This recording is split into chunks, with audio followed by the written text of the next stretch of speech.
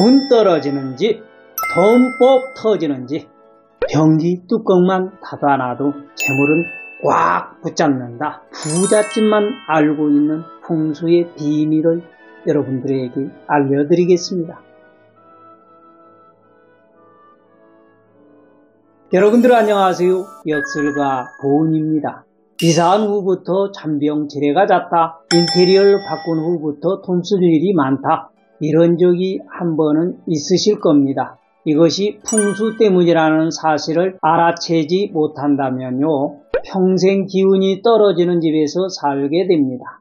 제가 40년 동안 풍수를 연구하고 상담하면서 온갖 남의 집 살림살이를 다 봤는데요. 이 짓을 해놓은 집은요.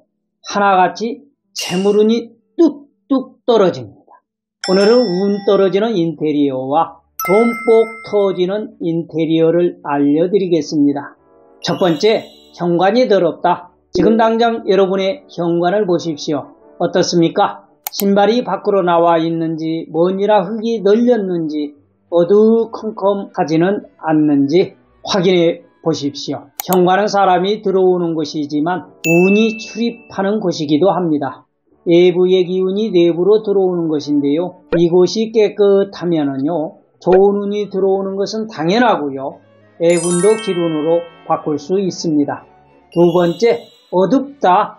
사업이 잘 안 된다. 자식놈이 사고만 친다. 직장에서 잘렸다. 이렇게 말씀하시는 분의 집에 가보면요. 대체로 다 형광등을 꺼두고 있습니다. 아니면 조명이 죽을랑 말랑 깜빡깜빡거리고 있고요. 그런데 생각해 보십시오. 돈 많은 부자가 어두컴컴한 집에 살겠습니까? 아니면 조망 좋고 밝은 집에 살겠습니까? 집에 어두운 공간이 많으면 나쁜 기운이 모여 사람의 몸과 생각에 나쁜 영향을 주게 되는데요.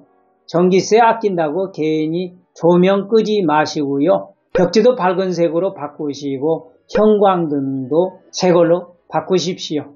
특히 거실은 재물과 명예운을 살려주는 장소인데요. 그래서 거실은 집안의 모든 식구가 편안하게 머물 수 있는 공간이 되어야 합니다.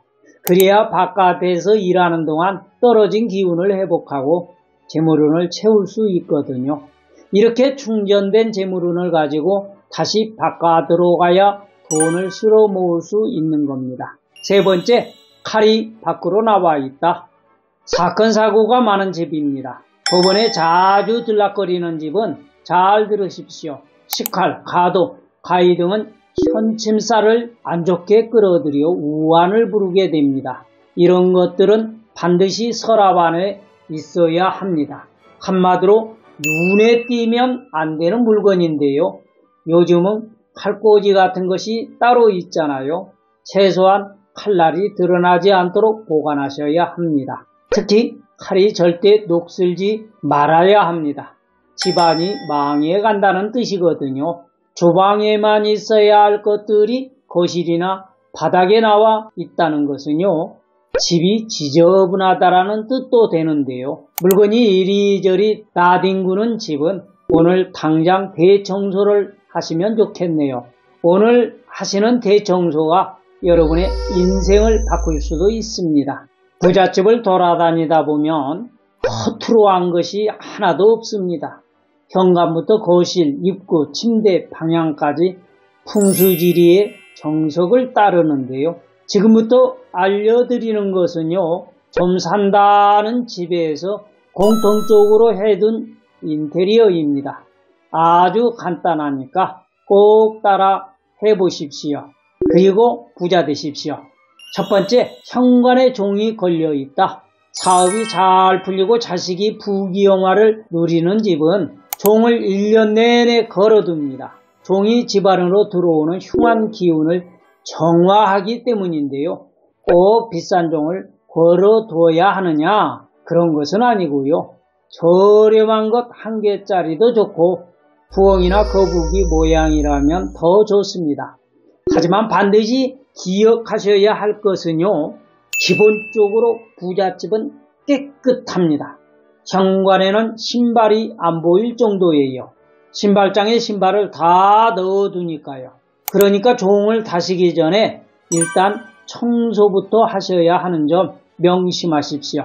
그렇지 않으면 괜히 종을 사서 잡동사니만 추가하는 꼴이 됩니다. 두 번째, 거실 커튼이 얇고 단순하다. 무거운 것, 눈이 어지러울 정도로 화려한 것, 이러한 커튼을 쓰는 집도 계실 겁니다. 하지만 창가는요, 현관문을 제외하고 집 안으로 번영의 기운이 들어오는 유일한 통로입니다. 물론 창가도 창가 나름이고 커튼이 꼭 필요한 것도 있습니다. 그게 바로 침실인데요. 침실에는 안마 커튼처럼 두께가 있고 무거운 것을 쓰셔도 괜찮지만요. 거실은 재물과 명예를 관장한다고 말씀드렸지요. 거실 창가만큼은 얇고 단순한 커튼을 쓰셔야 합니다. 세 번째, 변기 뚜껑은 닫아둔다. 너무 단순해서 놀라셨지요? 아주 간단하지만 습관이 되어야 하는 일이니 집중해서 들어주십시오. 쓰지 않는 변기 뚜껑은 열어두게 되면 운도 휩쓸려 내려가게 되거든요. 특히 재물운이 함께 사라지게 되니까요. 물을 내리기 전에는 꼭 뚜껑을 항상 닫아두시는 게 좋습니다. 평소에도 항상 변기 뚜껑을 닫아두시면 집안에 안정이 깃들고 평안을 유지할 수 있습니다. 네 번째, 그림이 걸려 있다. 비싼 그림이든 싼 그림이든 손주가 그린 것이든 상관이 없습니다. 그림은 해바라기, 목단, 산소와 같은 것이 좋고요. 인물 하나 추상화는 최악입니다. 친구들 사진이나 얼굴은 상관이 없는데요. 가족이 아닌 남의 얼굴, 예술로 그린 추상화는 정서에 좋지 않습니다. 또 풍수 그림은 이치를 잘 맞추면 강한 재물운을 불러일으키는데요. 가장 좋은 이치는 현관에서 들어와 거실까지 가는 길목입니다. 거실 복도라고 할 수 있는데요. 이곳은 집 안으로 기가 흘러 들어가는 곳이니까요. 풍수 그림을 두면 금전운을 발복하게 합니다. 지금까지 집안 인테리어에 대해서 알려드렸는데요. 사업장은 조금 다릅니다. 식당이면 물과 불의 균형을 맞춰야 하고요. 꽃 중에서도 허브를 두는 것이 좋습니다. 또 요즘은 소규모로 작은 가게를 많이 여시는데요. 무인 점포, 꽃가게, 네일샵 같은 장사를 하시는 분들이 있죠. 선방과 유리를 잘 활용하면 좋은 기운이 함께 손님이 북적북적 모이게 됩니다. 오늘은 여기까지입니다. 오늘 처음 오신 분이나 아직 구독 안 하신 분들은 구독을 통해서 사주는 물론 관상, 손금, 풍수, 성명학과 같은 유익한 콘텐츠를 꾸준히 만나보실 수 있습니다. 끝까지 시청해주신 사랑하는 구독자님들 항상 건강하시고 복 많이 많이 받으십시오.